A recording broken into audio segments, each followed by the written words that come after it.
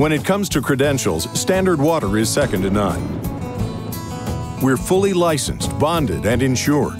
Standard Water Control's president is certified by the Basement Health Association as a below grade waterproofing specialist. He's also certified by the National Environmental Health Association as a radon mitigator. Standard Water holds Minnesota Building Contractors License Number BC 001522, Wisconsin Dwelling Contractor Financial Responsibility Certification Number 837495, Iowa Contractor Registration Number C108197, and North Dakota Contractor License Number 38013 Class D. Our crews are also certified lead safe.